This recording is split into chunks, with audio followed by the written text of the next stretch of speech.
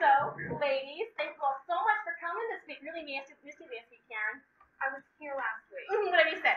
Well, y'all help yourselves to the snacks, and thank you, Pam, so much for the wine. Always appreciated here. Now, we've all been waiting for, what did we think about the book? I thought it was Oh, I found it to be a very relishable book, you know. In my opinion, is very unadulterated due to my Kappa Case schooling at Harvard Law School. She means capacious, and I thought you just lived next to the campus. Oh my Jennifer, you're driving me bananas.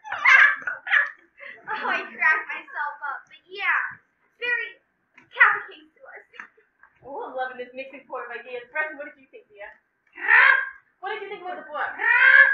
She's asking what you thought of the book. Oh, yeah! The imagery really made me smile. Yeah! Well, it seems to me we have a regular philosopher on our hands, huh? Philosopher. Well, whatever, whatever, it doesn't matter. We're gonna move on to the next question, ladies. We had some amazing characters shine through in this book. What are our opinions on them, hmm? Oh my! The, the human man in this story is such a hunk, you know. Oh, he really is the main reason I in the story.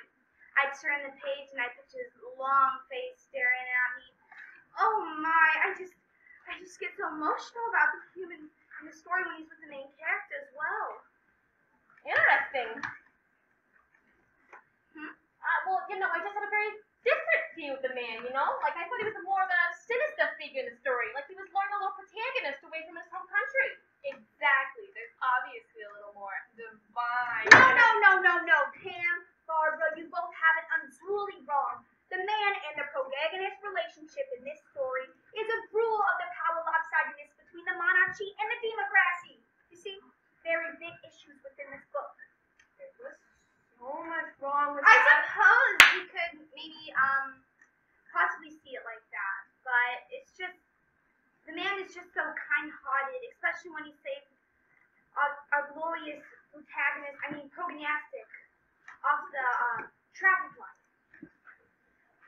I both hear you're saying, I really do. Jennifer, very well put, I have to say. But I just, now I don't know, you know? You were able to glean anything from that? I guess we'll move on. But Gretchen, do you have any opinions on the characters in this book? We're clearly having some um, heated debating going on. What did you think about the yeah, okay, you didn't even let me finish what I was saying the time. Oh, are you serious? This senile woman gets listened Well, move on, okay?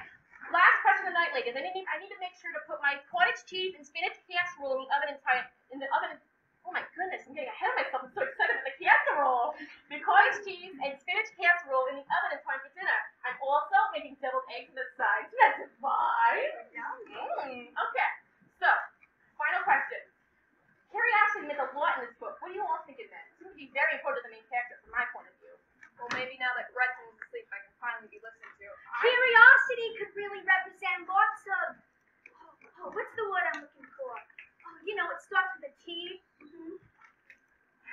Things. Treasures. Thongs. Oh, things! I knew I'd get it eventually. Jennifer, I said things. Why don't you listen to me? Oh, look, curiosity can mean so much. It's a cacophony of communism and a big storm of trichodecaphobia. Well, it was very well put, Jennifer, but um, you're wrong. It's really about the reader's view of the world. If you look at the big man of power, he takes us from our place in life and puts us in a zoo where we just are doing nothing with our lives. That's what he does, the man in the yellow hat. Jennifer, it's cacophony. Cacophony. And clearly we're looking up. But if you think about it for more than one second. Actually, No! I can't read that. the man in the yellow hat represents the sun. The sun is looking down at us much like God. Therefore, the man in the yellow hat is God. And he's looking down at us like the primates we are. well, he certainly is divine. I think George's being carried. It's But look! Look right here! The, the man in the yellow hat is God. Very clearly God. And look how he's able to push and pull George around like he's nothing.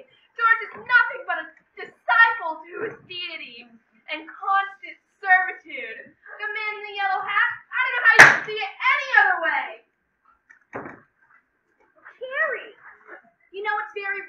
interrupt people. It's Karen! Deary me.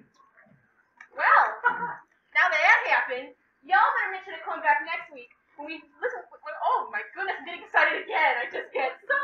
Whew. We need to figure out what happens to the Curious George and the Men in Yellow Hat